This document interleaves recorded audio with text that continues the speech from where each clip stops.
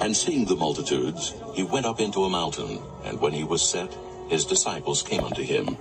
And he opened his mouth and taught them, saying, Blessed are the poor in spirit, for theirs is the kingdom of heaven. Blessed are they that mourn, for they shall be comforted. Blessed are the meek, for they shall inherit the earth. Blessed are they which do hunger and thirst after righteousness, for they shall be filled. Blessed are the merciful, for they shall obtain mercy. Blessed are the pure in heart, for they shall see God. Blessed are the peacemakers, for they shall be called the children of God. Blessed are they which are persecuted for righteousness' sake, for theirs is the kingdom of heaven. Blessed are ye when men shall revile you and persecute you, and shall say all manner of evil against you falsely for my sake. Rejoice and be exceeding glad, for great is your reward in heaven. For so persecuted they the prophets which were before you. Ye are the salt of the earth. But if the salt have lost his savour, wherewith shall it be salted? It is thenceforth good for nothing, but to be cast out, and to be trodden under foot of men. Ye are the light of the world. A city that is set on an hill cannot be hid. Neither do men light a candle and put it under a bushel, but on a candlestick, and it giveth light unto all that are in the house. Let your light so shine before men that they may see your good works, and glorify your Father which is in heaven. Think not that I am come to destroy the law or the prophets. I am not come to destroy, but to fulfill. For verily I say unto you, till heaven and earth pass, one jot or one tittle shall in no wise pass from the law, till all be fulfilled.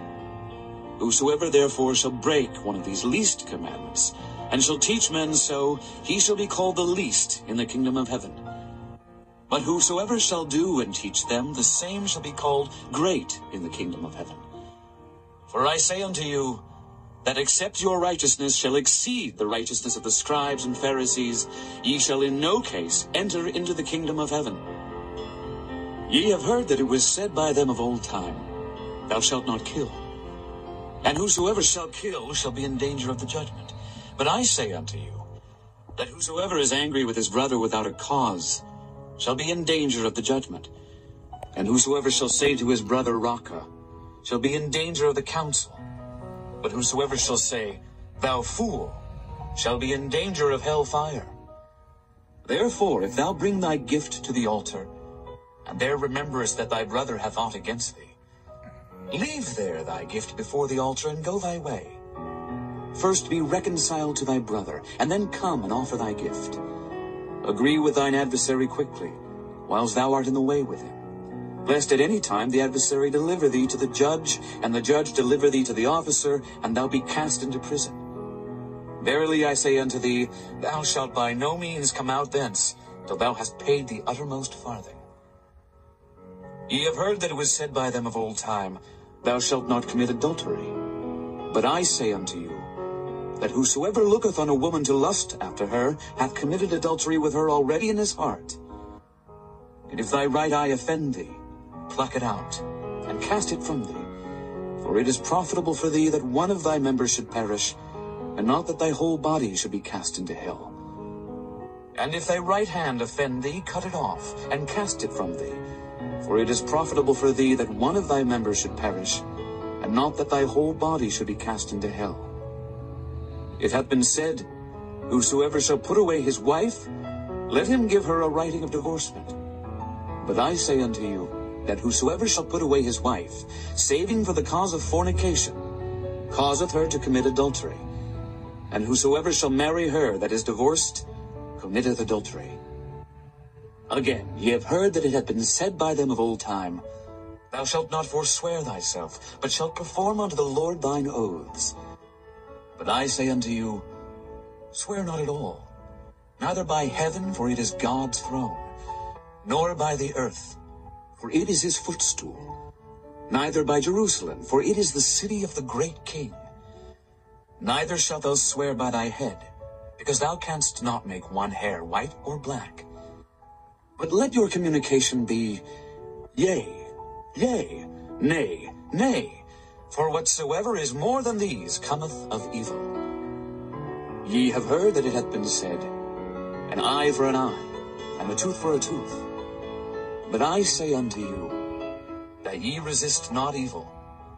But whosoever shall smite thee on thy right cheek, turn to him the other also. And if any man will sue thee at the law and take away thy coat, let him have thy cloak also. And whosoever shall compel thee to go a mile, go with him twain.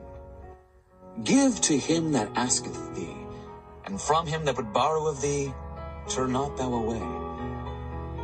Ye have heard that it hath been said, Thou shalt love thy neighbor and hate thine enemy. But I say unto you, Love your enemies, bless them that curse you, do good to them that hate you, and pray for them which despitefully use you and persecute you, that ye may be the children of your Father which is in heaven. For he maketh his sun to rise on the evil and on the good, and sendeth rain on the just and on the unjust. For if ye love them which love you, what reward have ye? Do not even the publicans the same? And if ye salute your brethren only, what do ye more than others? Do not even the publicans so? Be ye therefore perfect, even as your Father which is in heaven is perfect. Chapter 6 Take heed that ye do not. And you wonder why Sermon on the Mount is one of his best deliveries. Thank you, Jesus. Thank you, Father. Amen.